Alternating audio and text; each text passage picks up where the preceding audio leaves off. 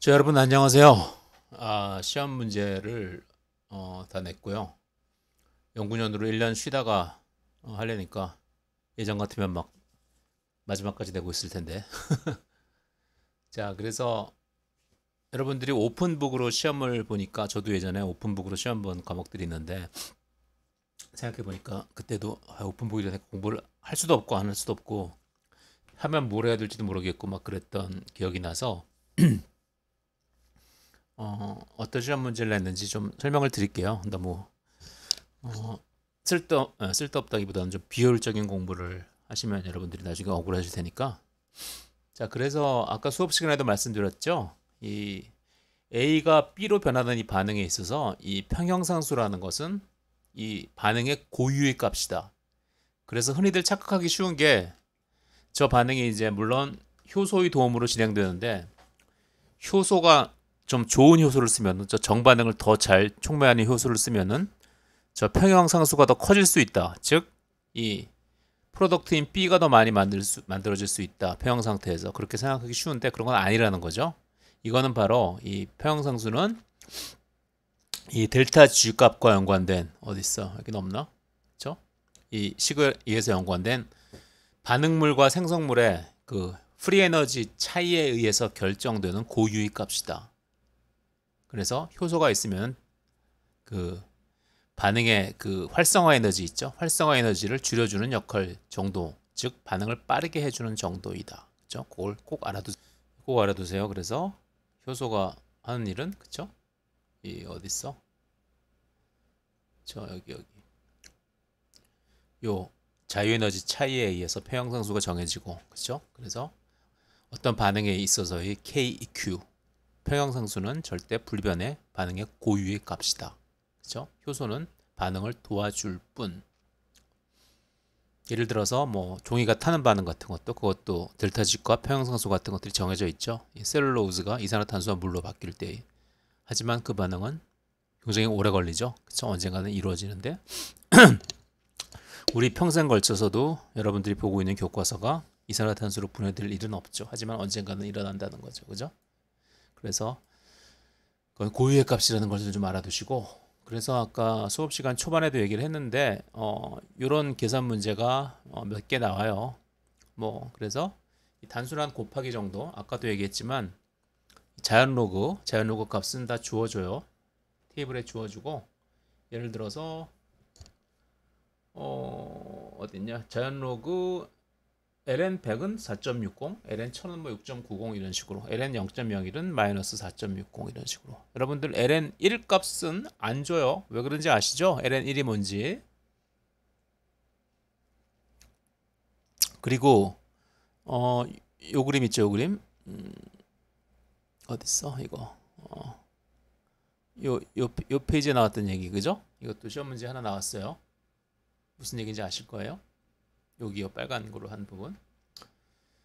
아, 자 그리고 어, 이걸 이용해서 문제를 많이 냈는데 어, 문제가 1번부터 4번까지가 다 그 문제네. 어, 그래서 요 농도를 갖다 달리했을 때 물론 계산 안 해도 반응이 어느 쪽으로 갈 것인가 그런 걸 예측하는 문제 정도. 그렇죠 그게 1번, 2번, 3번이 그 문제고 4번은 음, 그 다음 단계와 글라이콜라이시스의 다음 단계와 연관시켜 가지고 어, 연결된 반응 그래서 뒤쪽에서 더 많이 빠지면 앞쪽 반응이 더 빨리 진행될 거고 뭐 그런 거 생각해 보라고 문제를 하나 냈어요. 자 그리고 어, 그 다음 문제 세트 5번에서 7번 문제는 음, glucose가 glucose 6phosphate로 되는 hexokinase에 의한 반응 있죠. 그걸 갖다가 두 개로 쪼갰어요. glucose에 phosphate가 붙어서 glucose 6phosphate가 될 때의 델타 G, ATP가 ADP와 PI로 쪼개, 쪼개질 때의 델타 G 마이너스 7.4kcal/mol 그걸 주어가지고 어, 계산을 하는 그런 문제 하나 냈고 그리고 실제 상황에서 값을 대입해서 어, 이건 계산할 필요는 없고 로그 값 같은 거 안 주어지니까 그 식만 세워라 식에다가 각각 숫자만 집어넣어라. 그런 문제를 하나 냈어요. 그리고 반응이 진행됨에 따라서 뭐 생성물은 늘어나고 반응물은 줄어들겠죠. 그런 걸 그런 상황을 잘 이해하고 있느냐를 물어보는 문제. 그리고 요거는 이제 수업 시간에 안 배운 건데 여러분들이 어, 공부할 게 너무 없어서 허탈하실까봐 어, 이건 제가 키워드를 알려드릴게요. 우리가 글라이콜라이시스의 첫 단계, 첫 단계의 enzyme은 뭐죠? hexokinase죠. hexokinase. 자, 이건 시험에 내기 위해서 뭐 처음 보여드리는 그림인데 여기 hexokinase라는 게 이제 일반적으로 우리 어, 몸에 다른 일, 반적인 조직에 있는 세포, 세포에 있는 그러한 glycolysis의 첫 번째 스텝을 촉매하는 그 enzyme이고 글루코카이네이즈라는 게 있어요. 이거는 시험 문제를 했지만 간과 그리고 이자 아까 수업 시간 마지막 수업 시간에 어, 판크레아스 이자의 베타 세포에서 인슐린 분비한 얘기했죠. 그 간과 이자의 경우에는 글루코카이네이즈라는 헥소카이네이즈와 똑같은 반응을 촉매하지만 보시면 Vmax하고 KM 값이 다르죠. 이런 엔자임이 사용돼요. 이게 사용돼야 하면 만 하는 이유를 갖다가 문제에서 이제 여러 가지 지문을 사용해 가지고 유추해 나가는 그런 문제를 냈어요. 그래서 이거는 알려드릴 테니까 이거 뭐 글루코카이네이즈라는 거를 검색하면은 요 그림을 찾을 수 있을 거예요. 그래서 뭐 원문을 찾아서 공부해 보셔도 좋고요. 예, 말씀을 드리는 겁니다. 그리고 이제 우리가 글라이코젠 합성하는 과정이 있어요. 간에서 글라이코젠 합성하는 과정. 그것도 잠깐 보여드릴게요. 이것도 띄워야겠다. glycogen 합성하는 과정인데 어, 남아도는 glucose 혈당이 너무 높거나 그러면은 이제 간에서 glucose를 쭉 연결시켜서 glycogen을 만들죠. 그런데 glycogen을 만들 때 이제 glucose one phosphate 뭐 UDP glucose 이런 것들 돼 가지고 연결되어서 glycogen 쭉 연결돼 가지고 이제 이렇게 포도당이 glycogen이 만들어지는데 그 첫 단계에 만들어지는 게 이 해당 작용에서 만들어지는 glucose 6phosphate 똑같은 glucose 6phosphate가 만들어져요. 그런데 이때 간에서는 hexokinase 대신 glucokinase를 사용한다. 그래서 이것과 이 앞에 이 그래프와 상관 관계해서 좀 생각을 좀 해보시라는 문제를 냈어요. 그래서 뭐 빈칸 채우는 문제, 뭐 다음 문장에 AF에 해당하는 것을 쓰시오. 각 1점. 뭐 hexokinase는 뭐 allosteric enzyme으로 어쩌고 저쩌고 뭐 어쩌고 저쩌고. 그래서 뭐 glycogen 합성에 이용될 수 있다. 뭐 이런 거. 그리고 판크레아틱 셀에서 인슐린이 분비되는 메커니즘도 그림을 보여주면서 이것도 한번 생각해 보시라고 문제를 냈죠. 어, 그리고 음, 어, 이것도 역시 또 그림을 보여드려야겠구나. 자, 이 그림이 나오니까 기가 막히시나. 자, 이것도 뭐 특별한 지식이 더 필요한 건 아니고 물론 어, 지문을 보면 다 이해할 수는 있지만 당황하실까 봐 미리 말씀드리는 거예요. 자, TCA 사이클이 열심히 돌죠. 네, TCA 사이클의 intermediate, 뭐 oxaloacetate, 그리고 뭐 alpha ketoglutarate 이런 것들이 사실 acetyl CoA 뭐 pyruvate 통해서 이렇게만 오는 게 아니라 뭐 아미노산이죠. 아미노산인 뭐 글루타민, 글루타민이 어, 아민 그룹이 하나 떨어지면 glutamate가 돼요. 뭐 오늘 수업 시간에 굉장히 강조해서 얘기했지만 glutamate가 어, oxidative deamination이 되면 alpha ketoglutarate가 되고 aspartate가 oxidative deamination이 되면은 어, oxaloacetate가 되고 그리고 pyruvate가 oxidative deamination이 되면은 어, 어 뭐지?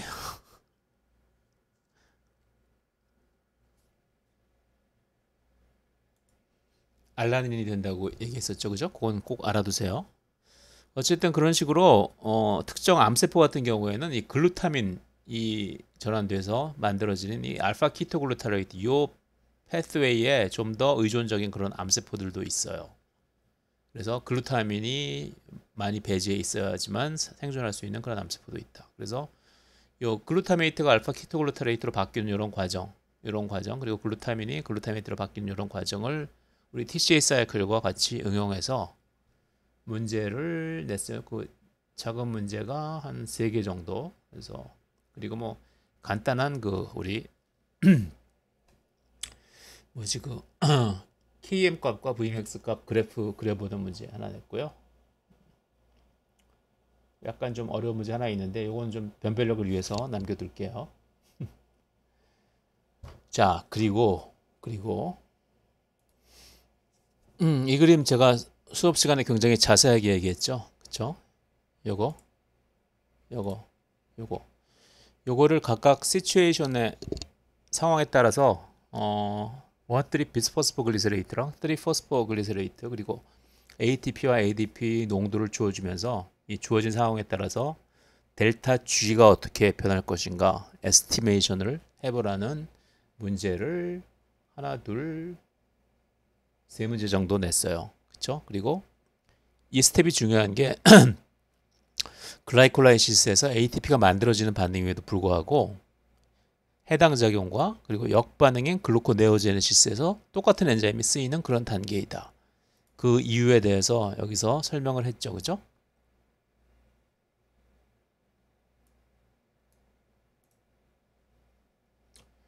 자, 그리고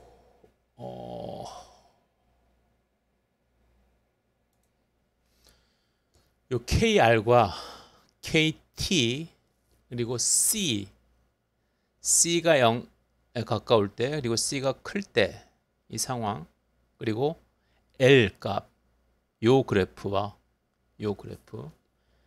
그것과 관련해서 문제를 하나 둘셋네 개 정도 냈어요. 네 개 정도. 그리고 아까 수업 시간에 얘기했었죠? TCA 사이클에 들어가기 위해서 pyruvate로부터 acetyl CoA를 만드는 enzyme인 pyruvate dehydrogenase complex. 걔를 인산화시켜서 불활성화시키는 pyruvate dehydrogenase kinase. 그것의 allosteric activator와 allosteric inhibitor.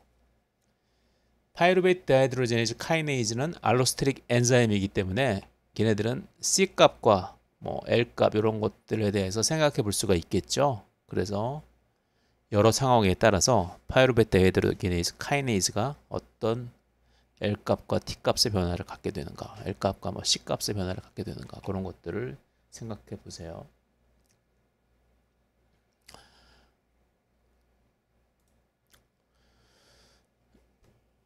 자 이런 것에 대해서 생각해 보세요. 생각해 보세요. 우리가 뭐 당연히 글라이콜라이시스 패트웨이가 나왔으니까 어 이거는 그렇게 가는가 보다 하지만 따르게 될 가능성도 한번 생각해 보시라는 거죠. 음, 이게 주로 어, 글라이콜라이시스뿐만 아니라 TCA 사이클도 꼭 이렇게 돌아가만 하는 이유.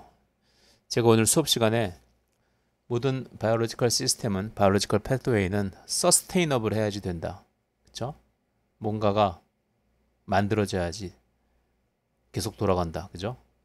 아까 전자전달계 물론 시험 범위는 아니지만 전자를 허공에 버릴 수는 없다고 했죠. 그래서 이 TCA 사이클도 우리 오버뷰 어디 있어?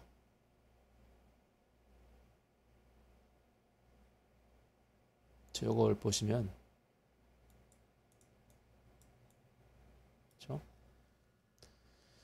전체를 보면서 어, 이게 과연 이렇게만 진행될까? 다르게 진행될 수는 없을까? 한번 생각해 보도록 하세요. 그래서 TCA 사이클과 관련된 흔히들 많이 쓰는 게 그거죠. 뭐 우주에서 떨어진 어. 저희 애도 시험을 보고 와서 물어보는데 어, 비슷한 전공이죠. 음, 뭐 그런 문제 냈대요. 뭐 우주에서 떨어진 운석을 분석했더니 뭐 베이스 유전자 DNA 염기가 뭐 8개고 뭐 아미노산은 50개였다. 그러면 코돈이 최대 몇 개가 필요하겠냐? 뭐 그런 문제. 괜히 뭐 생각하는 문제처럼 만들어 보려고 뭐 주어진 생물 문제 맨날 외워서 달달 쓰는 문제만 내기 싫으니까 그 교수도 뭐 그렇게 내신 것 같은데. 아주 쉽죠 그죠? 8 8의 제곱 64개의 어 그 코돈 조합만 있으면은 왜 뭐 염기가 8, 8가지가 그랬으니까 50개의 아미노산을 커버할 수 있으니까 그 경우는 지구 시스템처럼 뭐 코돈이 3개가 아니고 2개이겠다 뭐 얘기 이 문제를 내가 냈다는 건 아니고 물론 시험 범위도 아니지만 그런 식으로 약간 어, 다른 생각을 해보는 문제를 냈다는 그런 말씀을 드린 거예요.